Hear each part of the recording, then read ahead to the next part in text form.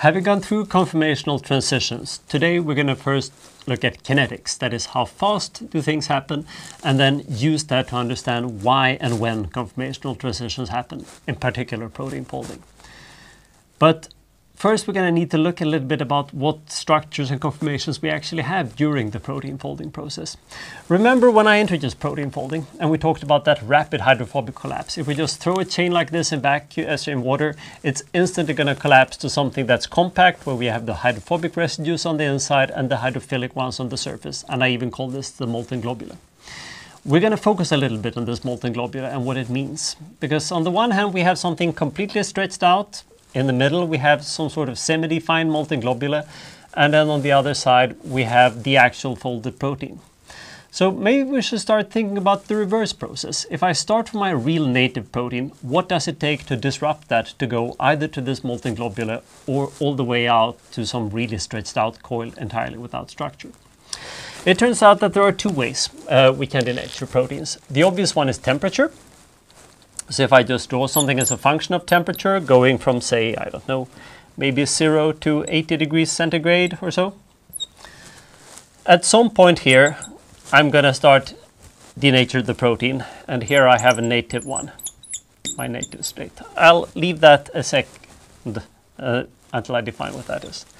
But there's also another axis here. So instead of temperature, I could use a chemical denaturant, say maybe a guanidinium ion this looks strange, but it's pretty much just an arginine side chain. Uh, this is a carbon and then three NH2 groups. Look at the arginine side chain and then you will see why this is very similar to it. This is going to participate in lots of hydrogen bonds and even so-called salt bridges because again, this is an ion, plus one it's going to love to interact with something that's negatively charged in the protein. That will quickly disrupt all the hydrogen bonds and everything on the surface of a protein and destroy structure almost completely. In particular, if I had not just a millimolar or something, but one, two, three, or four molars. So if I throw in a huge amount of this, say going up to four molar, uh, guanidinium hydrochloride, at some point here, I'm going to start destroying the structure completely too. And you will just have to trust me that there is some sort of region here where we're native. And then there's going to be some band between here. And what happens here? Here, I'm going to have the molten globule. And up here, I have the completely stretched out coil. So if I just heat the protein, well, I will gradually start disrupting it a bit and eventually it will lose its native role. It's no longer going to function, but it's not really, it's disrupted, but it hasn't really completely unfolded. It's not working, but it's some sort of collapsed shape here. And if I throw a ton of very strong ions of it, then I add some temperature ideally, then I will at some point completely disrupt the protein and it's just going to be small strings of amino acids left.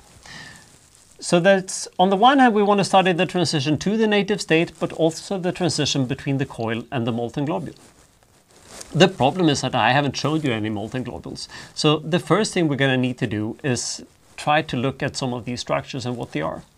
The problem though is that I can't really crystallize it because it's not a well-defined structure like the native structure. So you're going to have to make do with some hand-waving examples here and some structures we've been able to determine with NMR. Let me show you.